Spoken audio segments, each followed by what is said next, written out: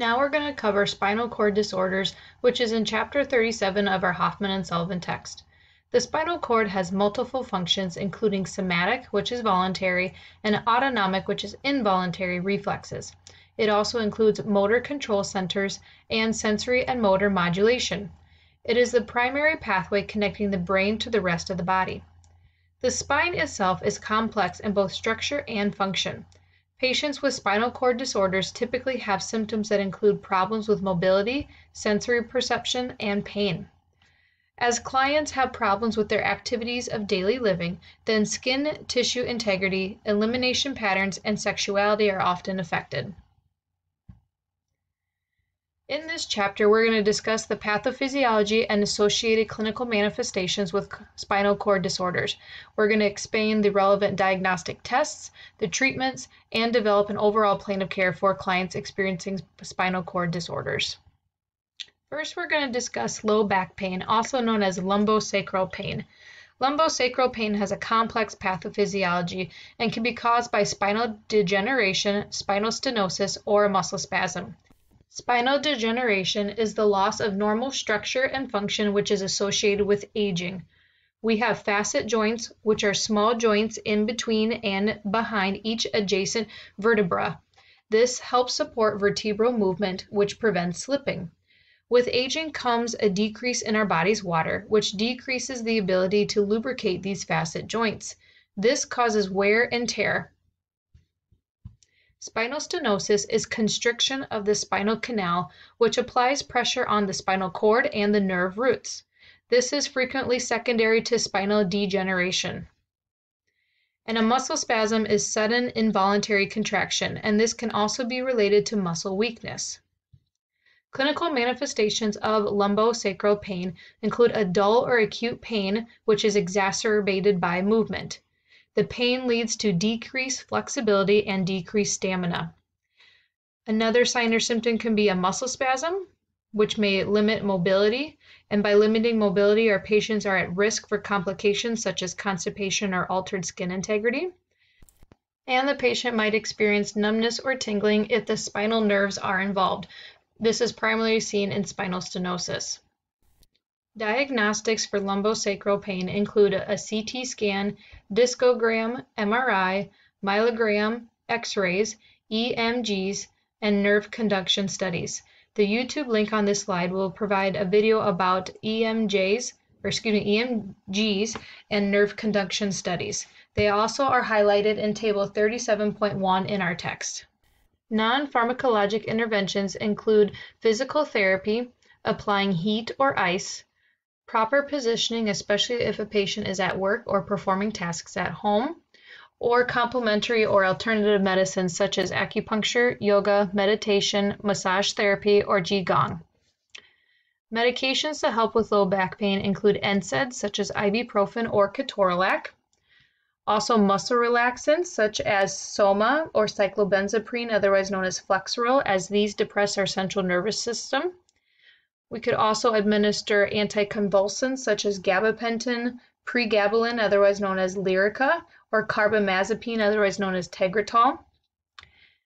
Tricyclic antidepressants such as amitriptyline or nortriptyline can be administered.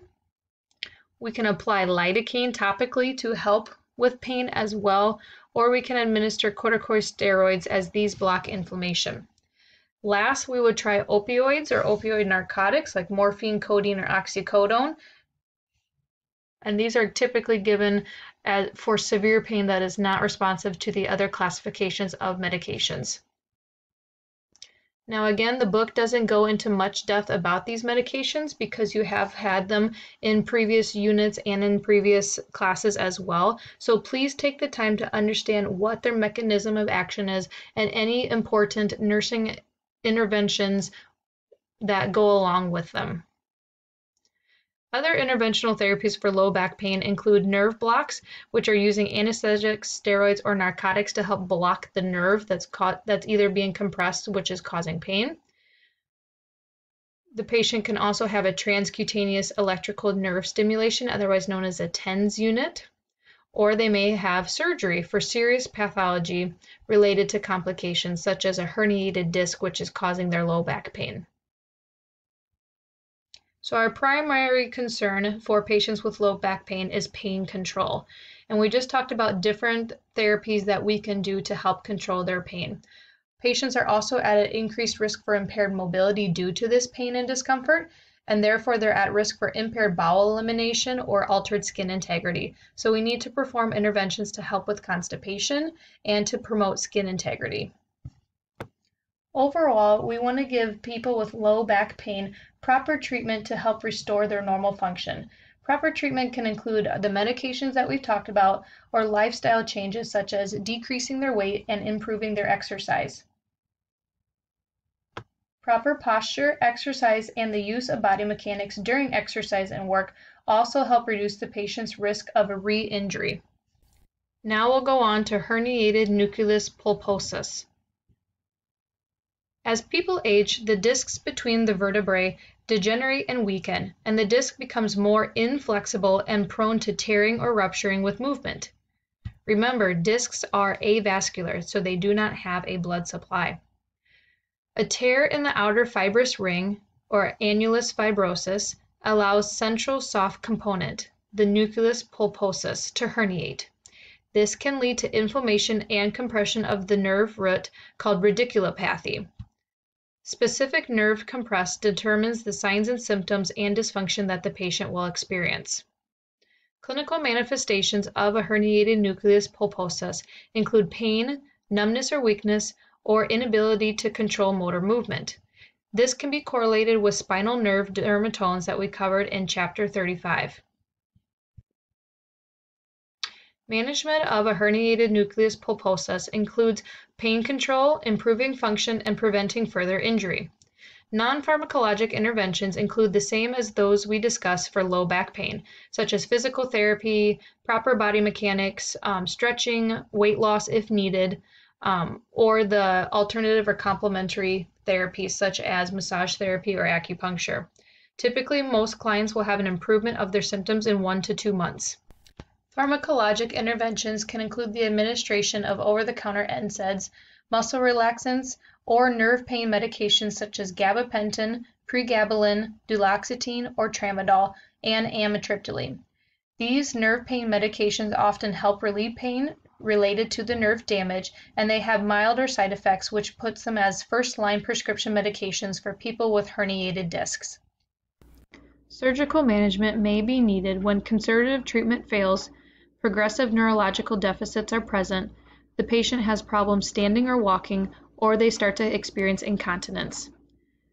There's different options for surgical interventions, such as a lamin laminotomy, and in a laminotomy, there's an opening made into the lamina to decrease pressure on the compressed nerve root or spinal cord. Patients can also undergo a microdiscectomy, which the disc is removed to relieve pressure on the spine or the nerve root involved. A laminectomy is part of the lamina is removed to relieve pressure on the spinal cord and nerve roots, and this allows the surgeon better visualization of the herniated disc. Patients can also have an artificial disc replacement, which is a manufactured disc to replace the diseased disc, or they can have a spinal fusion, which is the joining of two bones or the two vertebrae together. Permanently joining two vertebrae together means that there's going to be no longer movement in between them. So a spinal fusion is often performed with other surgical procedures like a laminectomy or a discectomy to provide spinal stability. In a spinal fusion, a bone graft which can be an autograft or a bone graft from the client's own body, or an allograft, which is a bone graft from unrelated people, can be used, or metal hardware can be used to join the vertebra together. Overall, a lumbar fusion is the gold standard for patients with low back pain unrelieved by conservative measures. Complications of a herniated nucleus pulposus include numbness and weakness, incontinence, increased pain or chronic pain, or even saddle anesthesia, which is the loss of sensation to the inner thighs, back of legs, and around the rectum.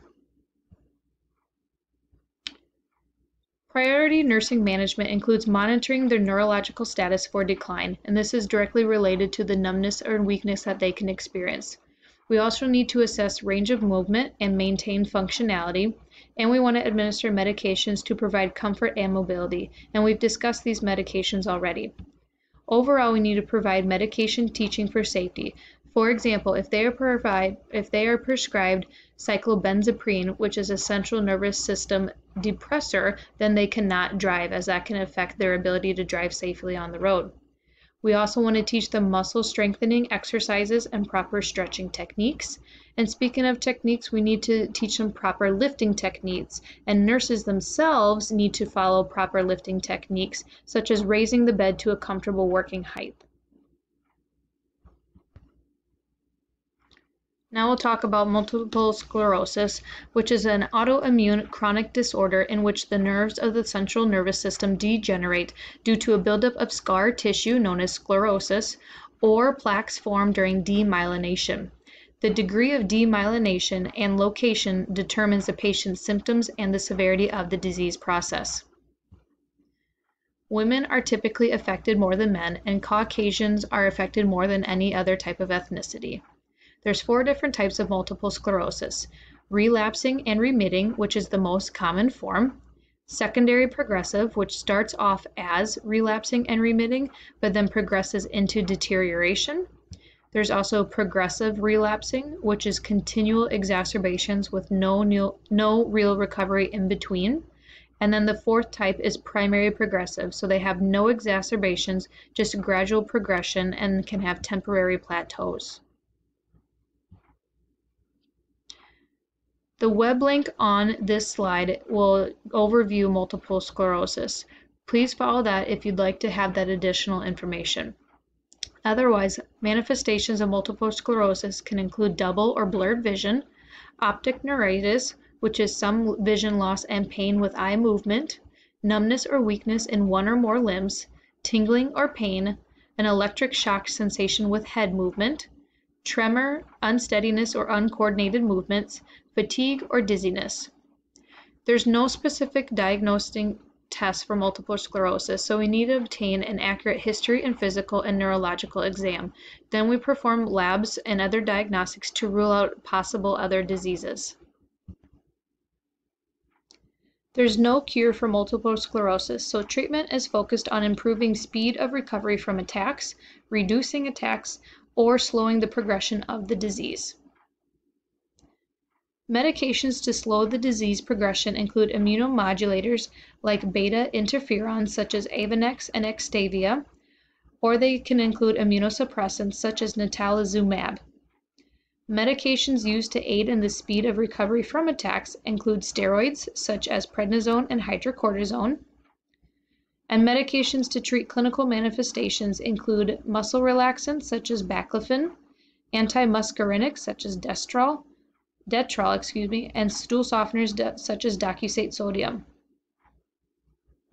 Table 37.4, medications used to treat multiple sclerosis, is a very good summarization of the classes and mechanisms of actions for the medications that we typically see in multiple sclerosis. Please review that. Fatigue, overexertion, and overheating can stimulate multiple sclerosis exacerbations.